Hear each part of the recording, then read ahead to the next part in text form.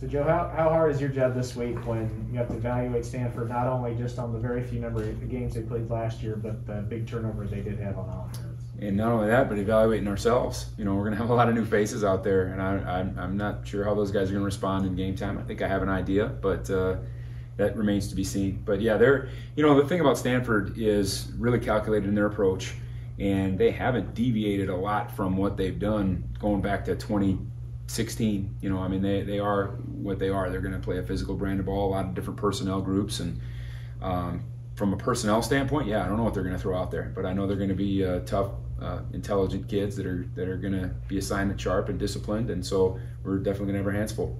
Any similarities between the offense K State runs and what Stanford does, or is it just more philosophical? Uh, very similar in, in the approach, a little bit uh, different in the presentation. Mm-hmm. Um, multiple personnel groups, uh, uh, run orientated. You know, we do probably a little bit more trade shift and motion than they do. Uh, they're more uh, into checking plays, so they want to see your your picture, so they can get into different things. Whereas our offense is going to try to confuse you, maybe a little bit more with the pictures. But uh, yeah, it's it's been good practice for about nine months here. How much do you anticipate the new faces in the secondary having to just go through some growing pains communication wise when the bullets start flying? Well, I hope not. I hope we've got through uh, as much of that as we can. I, you know, I'm sure there's going to be some adversity, and you know what what I'm excited about is how mature we've become and how we'll handle that adversity, as opposed to you know a year ago where maybe that that would have would have crushed us. You know, and and so we're uh, you know, we're older. Um, guys have, you know, even though they're wearing a new uniform, there's some guys that have been in the fire before. You know, you look at Russ Yeast, you look at Sincere Mason, Reggie Stubblefield, uh, Julius Brents, all guys that have played in, in games at other institutions, and uh, they're just going to be doing it now for the Cats.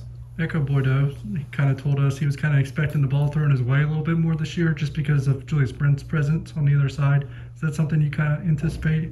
Um, potentially, you know, I mean, Julius is a, is, is a dude, you know, I, I but the, uh, um, the fact the matter is, nobody knows anything about him other than the people in this building. You know, I mean, he, he doesn't have a great body of work right now. That's something that's going to be uh, continuing to culminate over the next few weeks. So um, I hope that Ekow gets a ton of balls thrown at him because he's playing at a high level right now the uh, extra linebacker that's listed on the depth chart this week is that just for the Stanford game, and we'd see more of a nickelback look and others? Yeah, you're going to see a lot of different personnel groups from Stanford, and, and we'll probably match those personnel groups uh, to a degree. Um, so, uh, but you know, philosophically, we went through spring ball without uh, without a nickel and uh, uh, we were able to, to do some things. And so we're, we're going to uh, experiment with that a little bit more. It's not going to be an exclusive thing, but we'll, we'll, we'll, see some three linebacker things out there at times. Are you able to get a little more advanced with your guys now? We're getting there. Um, you know, uh, we're getting there. You know, I, it, it, it's still a work in progress. Mm-hmm. Um, you know, we're, we're still, even through last week, we were still shuffling guys around positionally and it's tough to continue to it's tough to graduate until you really are settled into a position. You know maybe it's a, a free safety moving to strong or a strong safety moving to nickel or whatever the, the case may be. Um, they're little moves but until you see repeated pictures you're not quite comfortable with what you're doing. And, and when you're not quite comfortable with what you're doing i don't feel comfortable pushing the envelope. But i'm, I'm hoping in the next couple months we're able to do that. As a coordinator do you find yourself wrestling with keeping it simple so they can play fast and also being creative to confuse the offense? Daily, yeah, daily. And, uh, you know, it, and, and I think that's why we, have got such a great staff that, um, you know, is always on the on the other end of that thing, pulling pulling me. You know, I, I seem to be. There's days I want to push ahead and go through some of the growing pains, um, and they kind of saddle me back. And then there's other days where I'd, I'd like to saddle back, and I said, "Nah, let's let's go ahead." And we, we never seem to be on the same page with that. but uh, yeah, that's that's just a constant uh, evaluation that I that I have to make, and we try to. Um, you know, at the end of the day, I think eh, whether it's Stanford or whoever we play, if we can get 11 sets of cleats in the ground and we can get our eyes right, I think we'll have success. Sir, For tailback Jones, have you seen any similarities between him and a Big 12 tailback? Oh boy, that's a you know, there's been a lot of great tailbacks. I mean, he's, he's a physical, uh, hard nosed runner, difficult to bring down, strong, um, disciplined. You know, he's not a guy that's going to make undisciplined runs. He's not a guy that's going to have poor ball security. Um, he's very good in pass protection. Um, you know, very good as a route runner. I mean, he's you know he's played I don't know how many games there, dozens. So uh, we're gonna have our hands full with him. Much of a difference between the two quarterbacks that you might see? I don't think so. I mean, I, I- do think there there are slight differences between, you know, one may be slightly a better thrower, the other might be slightly more athletic, but they're cut from the same cloth. Um, they're both guys that are uh, to have success at Stanford. I believe you have to really have a great mastery of the system, and and I feel like that they're similar in that regard. We're not dealing with opposite extremes with those two guys.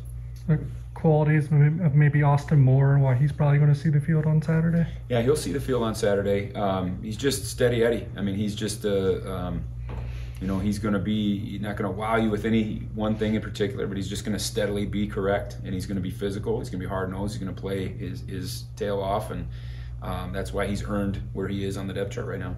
In your mind, what do you think Timmy Horne will make a good captain? He's probably one of the more vocal guys we have. Um, you know, just yesterday he, after practice, he grabbed everybody and said, "Hey, listen, I'm going to watch film tonight at eight. Anybody wants to come and join me? You know, uh, things like that that just we haven't we haven't had uh, since we've been here. Guys that just are, are that outward with it. You know, he, he's taken full advantage of his of his situation. You know, he, he came here. Uh, you know, obviously wanted to, to play in, in, the Big 12, but he, he's also wanted to probably reinvent himself a little bit, and he has not wasted a minute of doing that. What's the comfort level you've seen uh, of your linebacker tandem? uh? Oh, I, I feel very good. I feel very good. They feel very good working together. Um, you know, Deuce is playing at, at a Deuce Green is playing at as high of a level as I've seen since I've been here. Just fast and uh, seeing things really well. Cody Fletcher is, uh, you know, again another steady Eddie character that's just uh, has the ability to make plays. He's doing so much better in his pass rush things. He's doing so much better in his coverage. Uh, you know, those are some of the things that that uh, he's worked on in the offseason. I feel really rock solid with those two guys out there. When you got um, Ryan and Wayne listed at the same spot at linebacker, and they've never actually played it before in a game, does it give you nerves as a coach going into it? No, I mean I don't think there's a team on the earth that's taken more snaps in spring ball and fall camp than us. Uh, just the style of practice that that we uh, that we implement, and uh, they've they've be- definitely been forged by fire, and and, and they've been great in practice. Um, you know, again, I, I don't know how they're going to respond in games when things are uh, a little bit different, especially early. But uh, you know, they're quality kids. They're they're they're intelligent football players. Wayne's been in the fire before, albeit seeing it from a different angle. So. Uh, and Ryan has too. Ryan's played uh, a decent amount last year, so we'll see. Uh, time will tell. Anything else? You have to adjust it all being so far away from the field there in Arlington. Well, uh, going to make a little switch probably this year, uh, and I'll probably be on the field now. Um, something that we uh, talked about as uh, Coach Klieman and myself, and just a number of factors, I guess. But uh, you know, want to have a, a closer connection with the the players on game day. Want to be able to communicate with those guys a little bit more directly. Maybe have my hands on the pulse a little bit more. And uh, I've done that in the past and, and felt comfortable. The last shoot six years or so, I've been in the box, and so it's it'll be a change for me. But I felt like as a play caller in the box, I got maybe too analytical. You know, I'm on my charts and I'm on my you know stuff, and I got maybe away from my gut a little bit more than than I would like to. And, and hopefully being down there in the heat, you know, uh, seeing a corner that's tired or you know what I mean, just uh, being able to be uh, getting sweaty. You know, I think uh, will help me as a play caller too. Does that send somebody from your defensive staff upstairs? Coach Stanard will be upstairs, uh, the linebacker coach. So uh, got great eye. He's been up there years and years, so he'll be. Uh, that's that's where he'll be. All right, guys. Thanks, Thanks. Coach. All right.